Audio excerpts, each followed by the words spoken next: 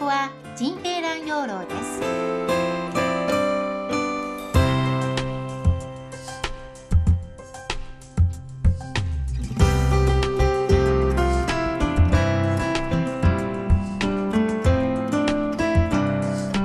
この大きな洋館の中には昔のいくつかの用途が再現されています。例えば野戦病院として使われていた時期があったので保健室の様子を再現した部屋があります。かつては軍の休暇センターとして利用されていました兵士たちが食べたり飲んだり楽しく過ごした場所で皆さんご存知のビリヤード招致店かき氷屋さんなどがありました。